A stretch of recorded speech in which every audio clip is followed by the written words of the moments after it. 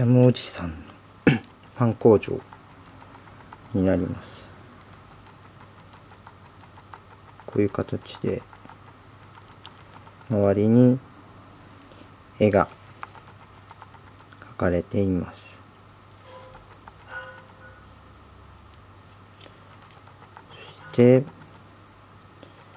バタコさんとアンパンマンがいてこれを押すと焼く前のアンパンマンの顔。焼いた後。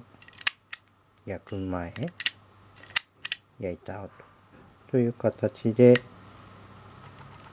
遊ぶことができるおもちゃになります。